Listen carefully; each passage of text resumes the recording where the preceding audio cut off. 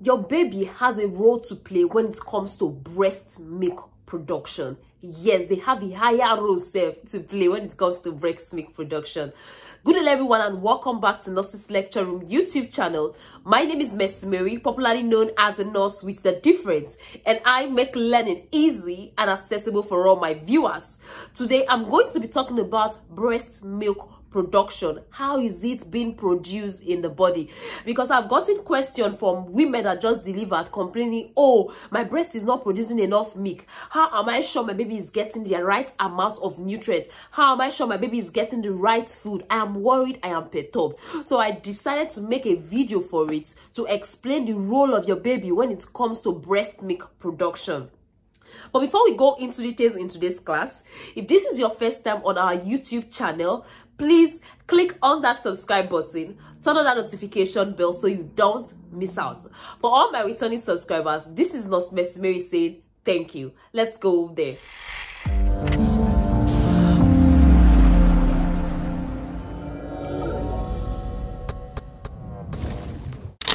Welcome back. Like earlier said today i'm going to be talking about breast milk production. Yes how it works. In simple terms we all know the supply and demand demand and supply chain when we are treating economics back then in secondary school. That is the same way breast milk production works. So if your baby increases demand the supply increases. I'm going to settle that and explain it so that you understand for those that have given birth when you are pregnant you go to the um you go to the ward you deliver. Immediately the baby is born the midwives the nurses will advise you oh put the baby to breast to get a lot of nutrient. Especially if you want to do exclusive breastfeeding or you want to give your baby breastfeed for some months rather than um baby food or formula at the very beginning. So why are they advising you to do that? When you put the baby to breast when your baby is trying to suck because your baby comes out of the womb with that sucking reflex. It's called sucking reflex. The ability to suck comes like it it comes with them as they are coming out of the womb. So when you put them to breast they hold your breast a lot of things take place in your body. The first thing that takes place is that a message is going straight to your brain telling your brain a baby has been born. A baby needs food. What should we do then the brain being smart as we have it, we say, oh, I need to signal those that are responsible. So the those that are responsible, which are the hormones of um, prolactin, the hormone prolactin, and also a hormone called oxytocin. They are the ones responsible. So the brain signals prolactin, the brain signals oxytocin to start doing their job. So what does prolactin does and also what does oxytocin does? The prolactin is the one that say alveoli, alveoli is time to make milk. It's time to make milk. Alveoli is found in the breast. So the prolactin triggers the alveoli to start producing this breast milk, to start taking nutrients from the blood supply, to start gathering this breast milk. That's what prolactin does. So prolactin is the one that makes the alveoli to start its work, to start producing this breast milk. So while prolactin does the job of milk production, oxytocin, whenever you hear oxytocin for the pregnant women, I believe they know what oxytocin is. Oxytocin help with contraction. You know, when you want to give birth, for those that are having, they might give you oxytocin injection that will help to contract the womb and push the baby out. Ah, that same way oxytocin will go to the breast and like, oh, alveoli release the breast milk. So oxytocin will contract the alveoli to release the breast milk to go into the baby's mouth. So oxytocin is what helps to release the breast milk from the alveolar, from the alveolar into the ducts and into the baby's mouth. So the oxytocin and the prolactin, they are the hormones that are being released when your baby sucks. And also when your baby starts sucking very well, your breast milk production increases. As your baby grow in age, as his consumption or her consumption increases, the breast milk production increases. Because as your baby is sucking, as your baby is trying to get more milk, the the um the breast is sending message to the brain. The nerves are sending message to the brain to increase their prolactin to increase their oxytocin so that your baby will get enough milk. So if you are not giving your baby breast you are not putting your baby frequently to breast breast milk might not come out.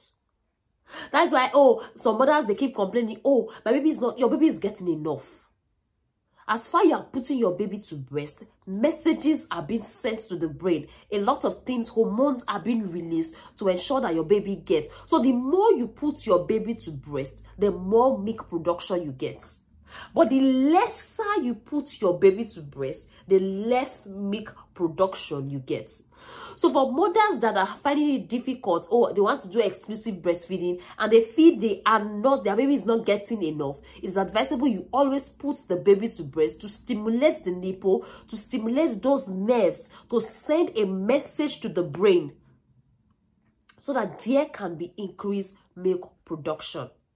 I know some women will like they've tried, but it's good to give it a try before you come into the final conclusion that it is not working. I hope you understand what I'm trying to say. So, breast milk production is a demand and supply. Is what your baby demand that the body supplies. If the demand increases, definitely the supply increases a lot of women they start like there's a letdown. That's the milk the discharges the milk sorry the milk not discharges. The milk start coming down unexpectedly. For example when they hear their baby cry when they hear other baby cry when they are not around they are supposed to be nursing. Their baby might not be on their nipple but those past sucking reflex that your baby has done had made your breast like prepared to to um to produce milk and to release milk. So some women they have um breast milk dropping out from their breast as a result oh it's full the baby needs to suck it out and all that at different time though so if you notice that as a woman, try and see if you can apply pressure on the nipple to actually stop it. And it's advisable if you are breastfeeding to always put on um, this um, breast pad. Breast pad helps to suck the mix and also prevent public embarrassment. Yes, breast pad. Get a breast pad because if not, it will just embarrass you. Yes, because once there's let down of that milk, even while your baby is not around you, when there's let down of that milk, it can soak the brazier and get into your clothing. And you're like, wow, oh my God, oh my God. So if you are breastfeeding, it's advisable you go with a breast pad when going out to avoid such embarrassment. So I just want to let you know that breast milk production is a supply and demand. The more you put your baby to breast, the more breast milk you get. But the lesser you put your baby to breast, the less breast milk you get. And i hope this video explains there's something i also want to talk about the fore milk and the hind milk. Why it's advisable you keep your baby uh, to the breast for a longer period of time is that when you put your baby to breast for a longer period of time the baby takes what is called the fore milk and also take the hind milk.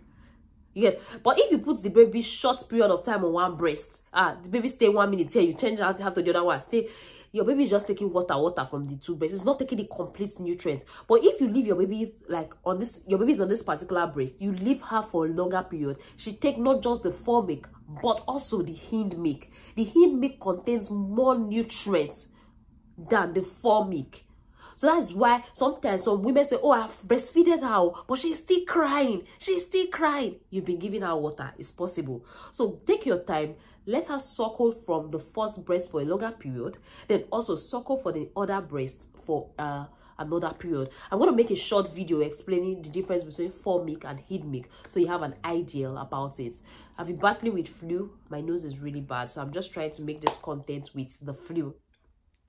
So thank you very much for staying tuned. Thank you very much for watching this video. Don't forget to like, don't forget to subscribe, and also don't forget to share with a friend if you got value. For all my returning subscribers, this is Nurse Miss Mary saying thank you. Bye and see you in our next video.